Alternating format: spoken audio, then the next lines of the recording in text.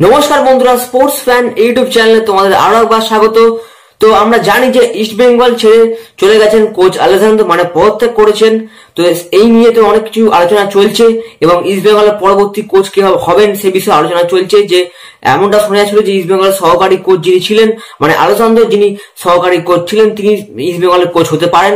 কিন্তু সেই সময় আশঙ্কাটা আগে থেকেই তৈরি হয়েছিল যে ইস্ট বেঙ্গলে একজন নতুন প্লেয়ার আসতে চলেছে এবং সেটা কে? সেটা হচ্ছে আনসু মানা ক্রোমা। হ্যাঁ এই আনসু মানা ক্রোমা কিন্তু আমরা জানি মোহনবাগানে খেলেছেন এবং এই আনসু মানা ক্রোমা একজন লাইব্রেরিয়ান স্ট্রাইকার, সাতাশ বছর বয়স এবং অবশ্যই এই কলকাতা লিগে দু হাজার আঠারো উনিশ কলকাতা লিগে অবশ্যই ভালো খেলেছে আনসু মানা ক্রোমা এবং তেরোখানা গোল রয়েছে এই ক্রোমার। তো ক্রোমা কিন্তু যথেষ্ট ভালো ফুটবলার, তবে দেখা যাক ইস্ট বেঙ্গলে এসে তিনি নিজের পারফরমেন্স কতটা করতে পারেন।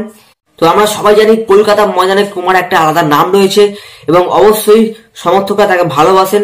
তো তিনি বড় ক্লাবে খেলতে আগ্রহী ছিলেন এবং ইস্টবেঙ্গলে সই করেছেন।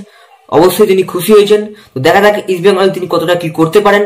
এবং এছাড়া তোমার একটা কথা বললে কি যে, হিরো ইউথ ইলাইট লিগ চলছে। সেই লিগটা তোমরা ফলো করো, কারণ সেখান থেকে অনেক ইউথ ফুটবলার উঠে আসবে। তো আশা করি ভিডিওটা ভালো কিছু অবশ্যই লাইক করো চ্যানেলটাকে সাবস্ক্রাইব করো। ধন্যবাদ।